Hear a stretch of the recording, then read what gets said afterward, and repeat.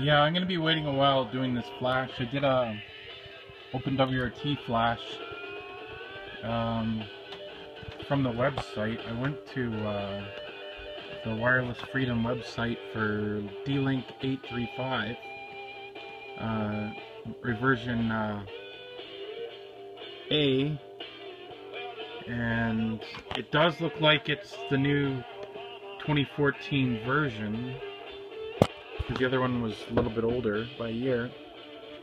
And um, I had to do a static IP address from the device it was on, but it looks like it says wait a few minutes. Well, I'm gonna let it think, even though I don't see anything flashing on the thing.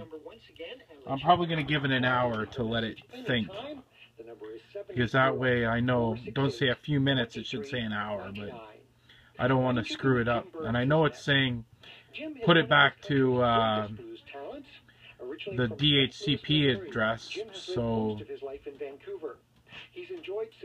I'm just gonna let it do its flashing. It's probably up TFTPing right now.